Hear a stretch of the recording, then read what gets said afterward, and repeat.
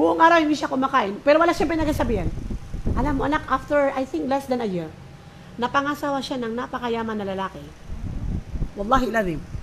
At kapag nakikita ko siya, she is a big, big picture of this aya. Itong aya na to, nawaya may takilaya, ja'allahu makhraja. Wa yarzuqu min haythu la. And anak, alam mo, hindi lang siya napangasawa ng napakayaman na lalaki. Mabait ang asawa niya. At nagkaroon siya ng anak na lima, mayroon pang kambal. Sino magsasabi na yung bata na hindi makakain? Kasi kaya hindi siya makakain, hindi dahil, hindi, dahil sa walang makain sa magulang niya. Yung nanay niya nag, nagre-riba. Ayaw niya kumuha ng pera sa nanay niya kasi nagre-riba.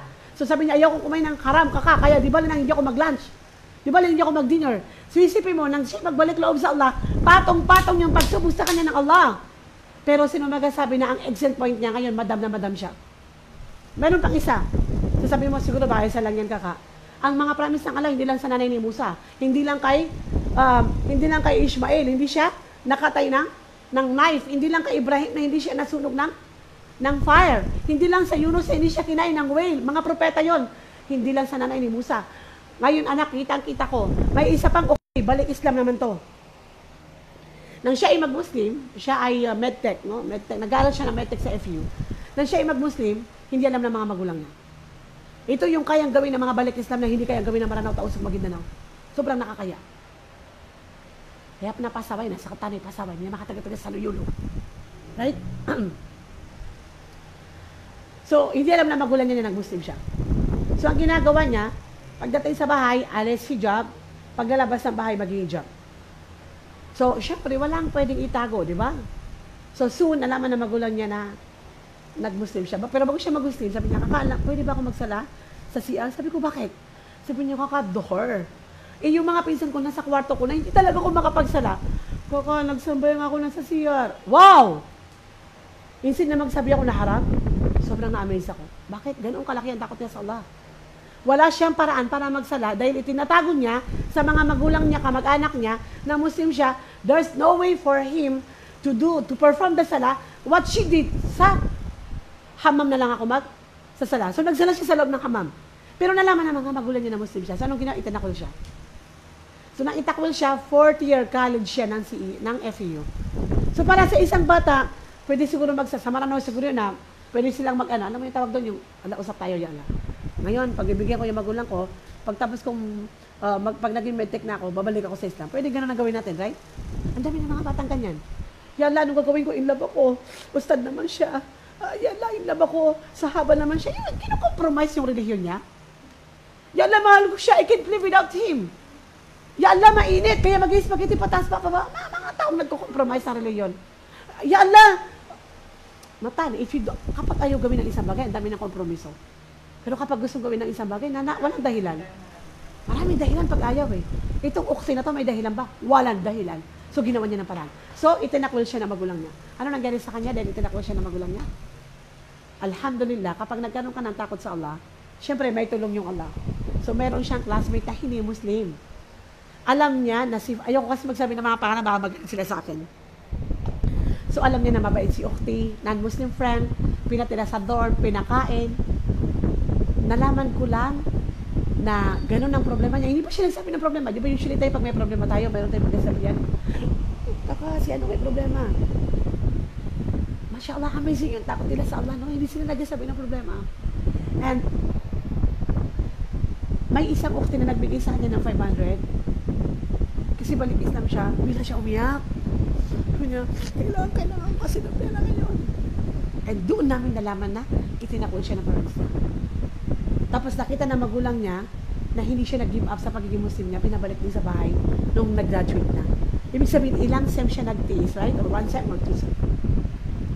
Then, nung uh, inaccept na siya ng magulang niya, alam mo kung ano nangyari sa kanya? Ano yung sinabi ng Allah na layak tasib yung biyaya na darating na hindi mo kaya bilangin? Ngayon, pumasa siya sa board exam, right?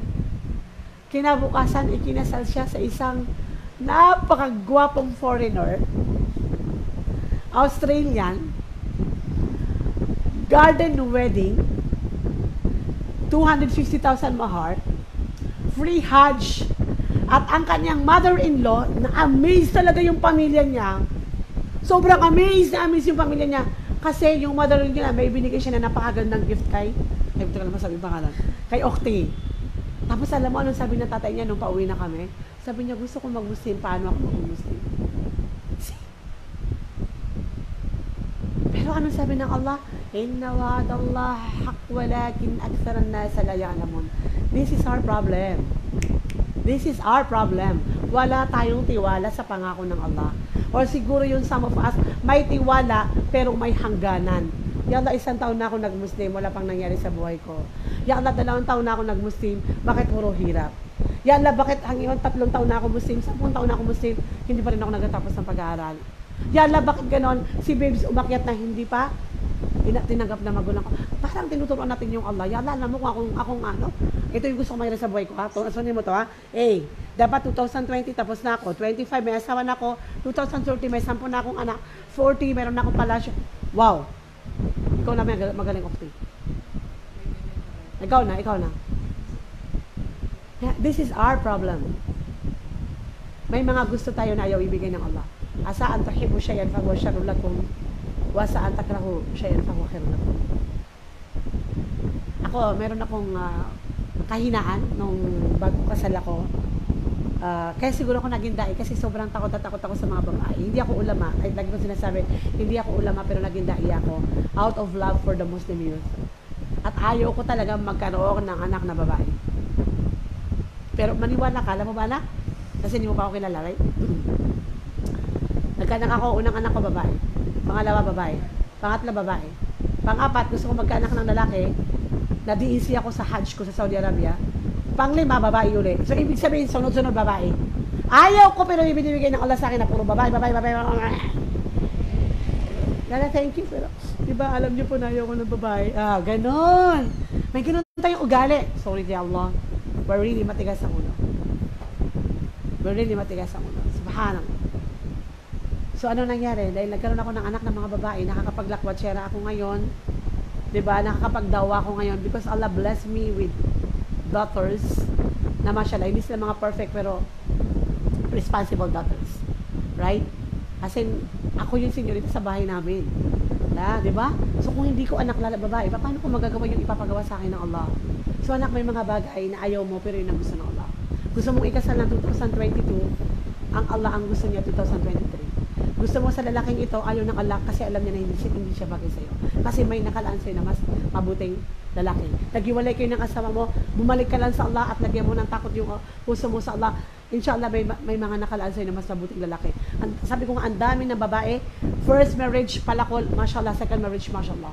Para sila mga prinsesa. Huwag mawala ng pag-asa sa Allah. Ang kailangan natin bumalik kayo sa Allah subhanahu wa ta'ala.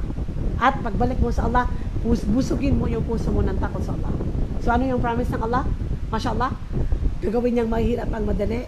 Gagawin niyang madali ang mahirap. Laging may exit point pag dumating ang problema. At pagkatapos ng problema, pag dumating yung exit point, may liwanag na napapalooban ng treasure, na layak tasib, na hindi kayang bilangin kung saan nanggaling at hindi kayang bilangin kung paano magugugulin. Ano pa yung pangako ng Allah? Wa may yattaqillaha, uh, uh, sabi niya, wattaqullah yu'allimukumullah. Sino man ang matakot sa Allah, tuturuan ka ng Allah. Tuturuan ka ng Allah. Yung mga nag-aaral dyan, hirap na hirap sa physiology, hirap na hirap, hirap na sa accounting 4, 5, 6, 7, 8, hindi maintindihan ng bar exam. Go back to Allah, punuin mo yung, yung puso mo ng takot sa Allah. Allah will teach you not only the Holy Quran, the fiqh, the tawhid, and everything. Allah will open the door of wisdom to you. Hey, pag mamayari ng Allah ang lahat ng kaalaman. So kung ayaw mo mahirap ka sa pag-aral, busagin mo yung puso mo ng takot sa Allah. Right? But it doesn't mean na pag naging matatakotin ka sa Allah, magiging cum laude ka na or magiging soma cum laude ka na. Absolutely, the promise of Allah, Allah will give you wisdom. Right? Ano pa? Takot na takot tayong mawalan ng kasama. Takot na takot tayong mawalan ng kasama. Takot tayong mawalan ng asawa, ng kaibigan, mawalan ng pera. We will feel so empty kapag walang mga nakapaligid sa atin. Anong sinabi ng Allah Warda? Ang promise ng Allah, panglima, Inna Allah ma'al muttaqin. Allah is always with those people who are righteous and God-fearing. Hindi ka iiwanan ng Allah. Anak, isipin mo lang. Kung kahit saan ka magpunta kasama mo si Duterte, how safe you are. How safe you are. Right? If Allah is with you, bakit ka natatakot? Alam mo, nung panahon na Takot na takot ako lumabas. Hindi ko alam kung sinong uh, sa akin. Kasi di ba, nagkaroon ng ah, problema sa Marawi. Tapos syempre yung mga yung government, ang dami nang pinagbibintangan nila, yung mga dai, yung mga ustad, pinagbibintangan nila na baka mamaya mga terorista. Syempre takot ka, babae pa man din ako, right? Tapos ako, kaaway pa man din ako ng mga mga pasaway na yan. Galit na galit sila sa akin. Tapos pinagbabanda pa ako sa cellphone, Hoy, ikaw na babae ka, inaaway mo kami. Chu, chu, chu, chu, chu, chu. So paglabas ko, hindi ko alam sinong sinong guganon sa akin. Government o yung mga pasaway na yan sa Marawi. So, syempre, takot ka, babae ka, di ba? Tapos yung asawa ko, ayaw kong palabasin. Pero talaga, no, no, Allah is with me. Allah is with me. Kung buhay ko, buhay ko. Kung mamamatay ako, kahit na nandun ako sa bahay namin, mamamatay ako. Kasi naisipan ko na hindi magdakwa dahil katakot ako. Pero nang malaman ko na Allah is with me at nangako yung Allah na ang mga taong may takot sa Allah hindi niya papabayaan, no, I will go. No one can stop me from doing dawah. Right? Alam ko marami nakasunod sa akin. Wala akong pakialam. Allah is with me. Anak, ang kailangan lang dito, babes, yung ilagay mo sa puso mo na Allah is with you. Kung nagbasa ka ng Ayatul Kursi, meron kang 70,000 na mga na security guard. Nagbasa ka ng Bismillah, tawakal to Allah, la hawla wala quwata illa billah al-aliyul azim. Nagtawakal ka sa Allah, Allah, absolutely Allah will take care of you. Shaitan will not harm you, jinn will not harm you. Evil people will not harm you, maliban lang kung kamatayan mo. Nagbasa ka ng tatlong kulo, falaknas, no one will harm you. Bakit ka matatakot? Bakit ka natatakot? Kasi wala kang tiwala sa Allah. Yung sinasabi ko, mabuti pa siya may tiwala ka sa kanya. Mabuti pa sa trabaho mo may tiwala ka sa kanya. Mabuti pa sa asawa mo may tiwala ka sa kanya. Pero yung Panginoon mo wala kang tiwala sa kanya. This is our problem. Kaya maraming mga tao na matatakotin sa Ramadan. Walang takot pagkatapos ng Ramadan dahil wallahi na din wala silang tiwala sa Allah. Hindi sila nagniwala sa mga pangako ng Allah. The last but not the least, napakadami ng mga pangako ng Allah. Pero alam ko, dito ako mag end kasi mag-aasar na. We want someone to love us. People are thirsty, hunger, na makahanap ng nagmamahal sa kanila sa Facebook. Ala, kahit na sinong lalaki, in-entertain, nakikipag-chat, nag, nag-send lang ng message na, at talaga, brother, walaikum salam. Oh! Sige, pagpatuloy mo yan. Pakipagharutan ka pa dyan. Mangarap ka na mamahalin ka niya. Maniwala ka sa mga pangako niya na pakakasalan ka niya ng 2022. Sige lang, para humiga ka ng libre. Makipag-date ka. Right? Mani, pag naniwala ka sa kanya na ang kasunod doon na makikipagkita ka sa kanya. Kapag nakipagkita ka sa kanya na ang kasunod doon na magizina na kayo. Wallahi ladim. That's the end, exit point. That's the ending of that. Right? Ang mga tao ngayon na hunger of I hope that someone will love me. Sino kaya? Nako. Nak, people are depressed looking for someone who will love them. How, how, how blessed you are, babes, if Allah will love you. Kung alam mo na mahal ka ng Allah, maghanap ka pa ba na magmamahal? So, ba't takot na takot ka mawala na nagmamahal? Because you don't know Him. You don't know your Creator. Nak, I've been there. Minsan na ako loka-loka. Minsan na ako nasira ng ulo sa na mawala ng, yung parang takot ka mawala ng pag nagmamahal sa'yo. Yung iba na in love sa pera, takot mawala ng pera kasi in love sa pera niya. Yung iba in love sa career niya. Right? Hindi lalaki ang kinagigiliwan niya, career. Yung iba in love sa passion niya, sa kanyang uh, Ferrari, sa kanyang Montero, sa kanyang millions in the bank. Some are worst in love sa isang lalaki. Slavery. Slavery of men. Right? Ilang babae yang, please don't leave me. Anong anong paraan para wag mo akong iwanan? Sige lang. ah, gusto mo ng zina? Kahit ayaw ko, higa ako ng libre. Wag mo lang akong iwanan. Wala billah. Sobrang nakakawa sila. Why? They were like that. At ang nakakatakot doon at ang nakakaawa doon, ibinigay na ang lahat pero wala pa rin nangyari sa kanila. Right? Yun yung worst din. ah. Right? Yung, ang pinaka-worst doon, nagtiwala, nagtiwala, nagtiwala, nagtiwala, nagtiwala. At the end of the day, ang napala nila, headache, heartache, emptiness. Right? Nak, how blessed you are and how proud you are if Allah will love you. Allahumma nas'aluka hubuk wa hub- wa hubbu ma yuhib. Right? Let's, let's ask Allah na mahalin niya tayo. Pero ang sinabi ng Allah, kapag ikaw ay naging mutakin, Inna Allah yuhibbul muttaqin. Allah will love those who are muttaqin. At alam ng Allah na nawawala yung takot natin sa Allah, nire-revive ng Ramadan yung takwa sa Allah, binild ng fasting, at nire-build, in-structure ng tarawi, ng tahajjud, ng qiyamul layl, ng laylatul qadr, ng sadaka, ng generosity, ng napakadaming ginawang kabutihan ng mga kamusliman, ang takwa na winasak ng syaitan. Right? And indeed, kapag natapos ang Ramadan, ganito yung mga Muslim, Allah will love those who are muttaqin. Anak, isipin mo lang, ito pa ulit-ulit tayo dito. Nak, naghahanap tayo ng pagmamahal. Wallahi ladim, hindi mo makikita ang pagmamahal sa tao. Hindi mo kailanman mararamdaman ang tunay na pagmamahal ng nanay at tatay mo, ang tunay na pagmamahal ng asawa mo, ng kaibigan mo, ng kahit na sinong tao without the taqwa to Allah. Lahat ng mararamdaman mo, it's all artificial. It's all artificial. It's all artificial. At kaya sinasabi ko na artificial dahil pag nawala, iiyak ka. If you will depend that love to that artificial love, ka- kaya kapag mahal ang nanay, mahal mo ang nanay mo, namatay ang nanay mo, mawawala ka. Namatay ang tatay mo, mawawala ka. Namatay ang asawa mo, mawawala ka. Hinimulayan ka ng lalaki, mahal mo, mawawala ka. It's all artificial love. That's why people are depressed. People are committing suicide. Kasi lahat ng nararamdaman nating pagmamahal, it's all artificial love. Anak, anong kayang ibigay ng tao? Anong kayang ibigay ng tao? Lalo na kung ang tao hindi marunong magmahal sa kanyang maker. Anong kaya niya ibigay na pagmamahal sa'yo? Yung mag-aasa pa sa inyo na walang, walang takot sa Allah, mapiyap na ng attorney. Huwag kayo magpakasal sa kanila. Wala silang maibibigay na pagmamahal sa inyo. Ang tao pag nagmahal, ang gusto niya, binigyan ka niya ng isang libong pagmamahal, ang gusto niya, big, ibigay mo 1 million na pagmamahal. At ang tao, bibigyan mo ng 1 million na pagmamahal para sa kanya kulang pa. Kaya maraming mga tao na umiiyak. Anong sinasabi ng mga babae? Pagkatapos ng lahat-lahat, yes! Because only artificial love ang nararamdaman mo.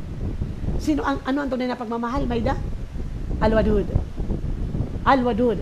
One of the most beautiful name of Allah is Al-Wadud. The source of all love. And at the same time, anong ibig sabihin, isang ibig sabihin ng Al-Wadud? The source of all love and the the most beloved. Anak, kailangan mo maano to. Yung maramdaman mo na ang nagmamayari ng lahat ng pagmamahal na gusto mo, gusto mo, gusto ko, is Al- Al-Wadud. At para makuha mo yung source, yung love na nanggagaling sa Al-Wadud, na you should love most the, the Al-Wadud. Mahirap ito, Judy. Kasi dalawa to, hindi to pwede maghiwalay. Acceptance that the source of all love is Al-Wadud. And if you accept that He is the Al-Wadud, then you should love most the Al-Wadud.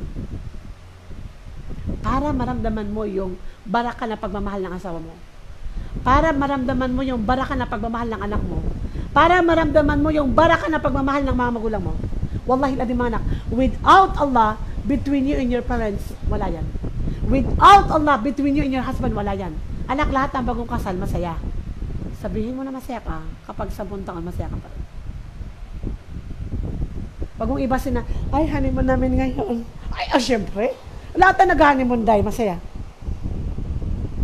Huwag ka masira ng ulo dyan sa honeymoon na yan. Lagi ko sinasabi, alam mo nung, syempre, hindi ako mabuting tao na ganun ka religyosa. But Allah bless me with, mashallah, na asawa. So, sa umpisa, Judy, oh, I'm so blessed, mashallah. Yan, naminig. Mga ganong imot na babae. And then eventually, dahil nakita ko na yung asawa ko, mashallah, minahal ko siya. And then sa pagmamahal ko sa kanya, hindi ko nakikita yung Allah, natatakot na ako mawala siya. Natatakot na ako mawala siya. So I became possessive. And then I became like, para akong investigator. Yung asawa ko may ka-text me. Para akong magnanakaw. Tapos pag nag-CR siya, para akong si Raulo, tinitingnan ko lahat ang mga ka-chatmates niya. Kinukuha ko yung mga number. Astaghfirullah alazim. I became possessive. At hindi ko na nai-enjoy yung kabutihan ng asawa ko. Why? Because I want to possess him. Natatakot ako mawala siya. And then, ano nangyari? Nag-iisip na ako ng hindi maganda sa asawa ko. Natatakot na ako mag-asawa siya ng pangalawa, pangatlo, pangapat. Hindi pa siya nag-aasawa, tinutorture ko na bibi yung sarili ko. That was 15 years ago. Eh, mo, hindi ko kadar na nag-asawa yung asawa ko ng pangalawa. Isipin mo lang, kung nasira na ako ng ulo. So, kung hindi ako bumalik sa alda, hindi pala kadar ng asawa ko na mag-asawa ng pangalawa, pangatlo, pang-apat. Hindi labing limang taon ngayon, Judy, na mukha akong sira ulo. at saka pinag-uusapan ako ng buong mundo, ayan yung babaeng na possessive. And then I just realized that I'm crazy of loving my husband. I'm really crazy. Do you think na magiging masaya sa akin ng asawa ko kung pinagbibintangan ko siya? Do you think that my husband will love me kung nakikita niya na wala akong tiwala sa kanya? Until I go back to Allah subhanahu wa ta'ala. And when I go back to Allah subhanahu wa ta'ala, at nakita ko, na, dapat pala, yung, yung Allah, yung, dapat na mahalin natin. Doon ko nakita kung, kung gaano kadaganda yung mga biyaya ng Allah sa akin. I appreciate my husband so much. I, I appreciate my children so much. Hindi ko na nakikita yung pagkukulang nila. Nakita ko kasi, pag minahal mo yung Allah, Allah will give you love too. He will love you. And my hadith, right? This is a very famous hadith, mga anak. That when you love Allah, Allah will love you. And if Allah will love you, Jibril, Allah will call Jibril. Oh, Jibril, I want you to know that I love that person. I love fulana na anak ni fulan. And I want you to love him. And immediately Jibril will love that person. And then Jibril will go down to the lower arsh. And then he will call all the angels. This is Hadith Qudsi, right? And then he will call the angels. I want you to know that Allah love fulana, fulan na anak ni fulan. And I love that person and I want you to love him. I want you to love her. And the, and the angel will love that person. And the angels will descend to the earth and the same call. And then the angels of the earth will love you. And then the people will love you. Anak, we're tired of looking for love. Dalaga, naghahanap ng pagmamahal ni Ustad, naghahanap ng pagmamahal ng asawa, naghahanap ng boyfriend. Nak, stop. Stop searching for that person. Mapapagod ka lang. Iiyak ka lang. Aasa ka lang. Pangangakuan ka lang. At the end of the day, will be what? Will be depressed kasi ang mga tao wala silang may bibigay sa'yo. But if you love Allah, if you will open your heart to love Allah, then Allah will love you. Your husband will love you. Now, let's build a strong relationship with you in Allah subhanahu wa ta'ala. Kaya natin to. Walang ipinanganak na nakanikab. Walang ipinanganak na naka-hijab. Lahat tayo hubot-hubad. Pero sinong kaaway ng Allah sa puso natin? Ang karir mo, ang asawa mo, ang anak mo, mga bagay-bagay na gusto mo. Sila yung kalaban ng Allah. Anak, hindi ko sinasabi na amazing na lahat talabas sila. Isa-isa mo silang palabasin. Isa-isa mo silang palabasin. Isa-isa mo silang palabasin. And you will see that Allah will bless your family. Allah will bless your relationship with your husband. Allah will bless everything. Na kahit ang pera mo, 100 pesos, mararamdaman mo na ikaw ang pinakamayaman na tao sa buong mundo. Na kahit ang trabaho mo sa opisina mo, simple ka lang pero nakakaramdam ka ng ease. Because that's the promise of Allah. Right? na hindi kailangan ibig sabihin abundant of of of provision ang ibibigay ng Allah kung hindi yung paglalagay ng baraka ng Allah doon sa provision na ibinigay niya na hindi ka milyonaryo pero paki, ang pakiramdam mo kapag gumugugol ka daig mo pa yung milyonaryo wa may yattaqillaha yaj'al lahu min amrihi yusra wa may yattaqillaha yaj'al lahu makhraja wa yarzuquhu min haythu la yahtasib wa may yattaqillaha yu'allimukumullah right Inna Allah ma'al muttaqin. Inna Allah yuhibbul muttaqin. Napakadami ng promise ng Allah subhanahu wa ta'ala mga anak. Nasa sayo lang yan kung gusto mong paniwalaan. So anak, let's open our heart to Allah subhanahu wa ta'ala. Not only this Ramadan, but right after Ramadan. Right? And for you to do that, kailangan kasama mo yung mga taong kapag nakikita mo sila, naaalala mo yung Allah. Right? Kailangan anak sobra ang, ang iman ay fluctuating hindi kami ito hindi kami mga mutakin dito na always mutakin lahat tayo dito striving hard lahat tayo nag-struggle and I think one of the reason why we are always God conscious is because pag nakita mo ba naman itong mga babaeng ito talaga namang kahit ayaw mo magsuna mapapasunna ka Right? Kung ito palag yung mga kasama mga tao, kahit hindi ka magtajud, mapapatahajud ka. Nak, we need companion. Na every time na makikita mo, it reminds you of Allah. Na kapag kasama mo sila, it increases your iman. Right? You we need to sit down every Sunday. Hindi man dito sa Pearls of Wisdom. Wherever you go, you need to sit down with your local ulama. Don't hate our ulama. You need to sit down with them. You need to be with them. Kasi sila ang mga warasatul anbiya. Sila yung nakakaalam ng problema ng umma. You need to love them. You need to to revenge them, reverence them. Give them the reverence na eh, kailangan natin bumalik sa mga ulama. Ang iman anak fluctuating. Darating yung shaitan right after the first day of Eid al-Fitr. Mahirap anak mabuhay ng walang companion. Mahirap nang hindi ka nakikinig. Mahirap nang wala kang circles of friends. Mahirap nang wala kang Islamic organization. Tubulil guraba. You need companions mga anak ko. So, alhamdulillah, hinihiling ko sa Allah subhanahu wa ta'ala na itong takwa na ibinigay ng Ramadan Maida, right after Ramadan, tayo ay maging mutakin. Um, anak, I don't want you to expect that you are perfect after Ramadan. No? Absolutely, marami tayong mga struggle. Naglaps, balik lang sa Allah. Na-endang, na na-late ang sala, sige lang. Huwag ka lang mag-miss. Whatever happened, huwag ka lang mag-miss. Huwag ka lang mag-miss. And then, always, yung, yung relationship natin sa Quran, build your relationship with the Holy Quran. Right? Uh, isa sa binild ng, uh, ng Ramadan is uh, Quran, right? Uh, Ramadan build our relationship with the Holy Quran, right? Yung iba dyan, is uh, isang beses nakapagtamad. Yung iba nakadalawa, nakatatlong yung iba ilang beses nagtamad. Right? So, kahit isang beses ka lang nagtamad, it's okay. Importante, nabuksan mo yung Quran. Right?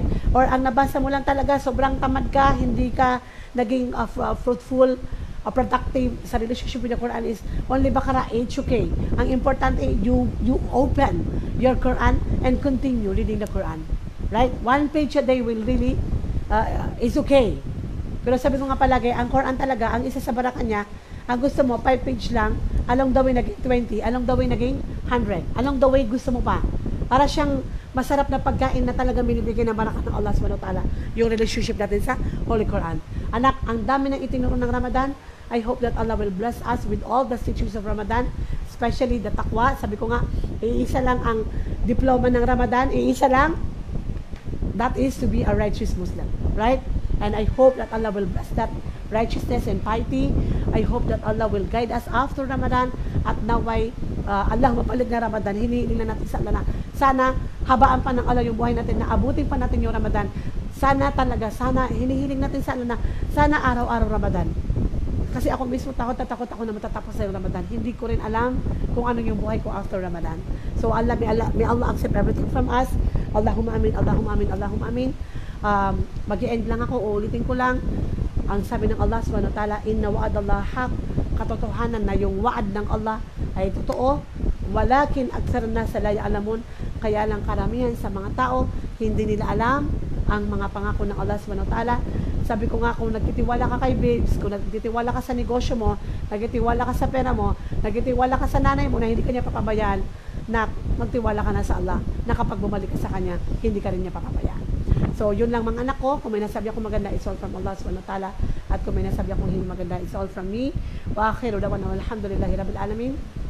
Assalamualaikum uh, warahmatullahi ta'ala barakatuh. Yeah, uulitin ko lang. Uh, baka mag-Eid al-Fitr na tayo sa uh, Tuesday.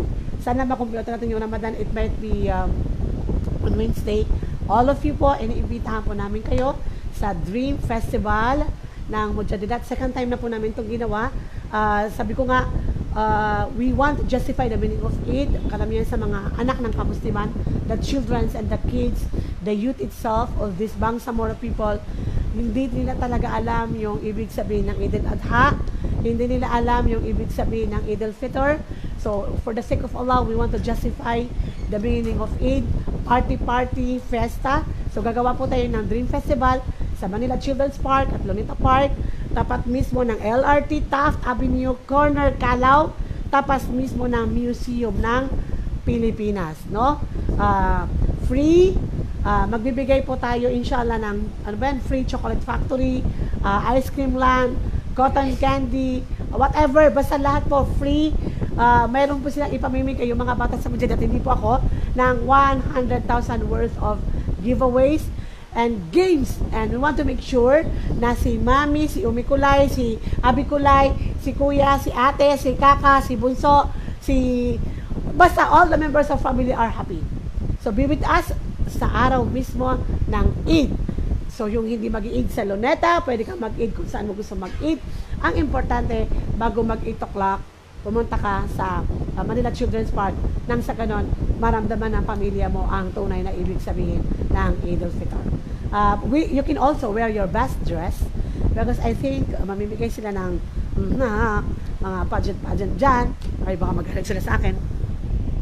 And ano pa ba? Uh, of course, kailangan po namin talaga ng tulong kasi uh, wala pong Arabo yung mujadidat. Uh, mga estudyante po sila. So, kung sino po yung gustong mag uh, sadaka para sa event na ito, kunti lang naman ang kailangan namin kasi 100,000 lang. Siyempre po, pag nagkaroon ng exist yung 100,000, mas masaya yung Eid al-Adha, right? Um, uh, you can send, akin ang anak, dali, akin akin na yung account mo.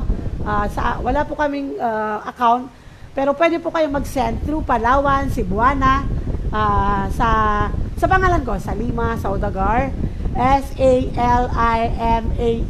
Saudagar, S-A-U-D-E-G-E-R, at sa account ng aming beloved na uh, treasurer, si Mayora Warda Bilao, W-A-R-D-A Bilao, B-I-L-A-O.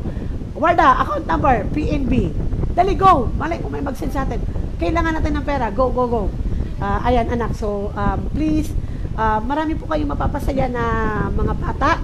Uh, nag-expect ko kami ng 2,000 families. Kung last year may 1,000, mag-expect kami ng 1,000 family. Ito na po siya, yung kanyang account number.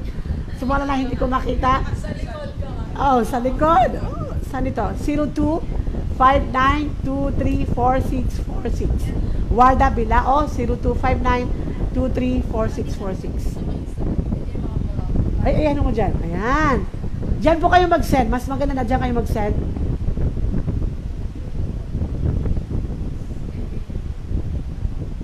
Yan. Alam nyo anak, yung yung 500, 1,000, ano pa kayo, 5,000 na ipa ipapadala nyo po sa amin will really means a lot.